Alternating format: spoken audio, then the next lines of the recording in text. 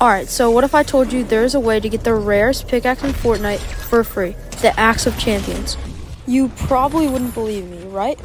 Well, on August 25th, 2024, there's going to be an FNCS tournament, and if you place top 1200, you will get the FNCS pickaxe. As well, on September 4th, 2024, the FNCS pickaxe is going to come to the item shop at 8 p.m. Let me know what you think about this, and are you going to get the FNCS pickaxe?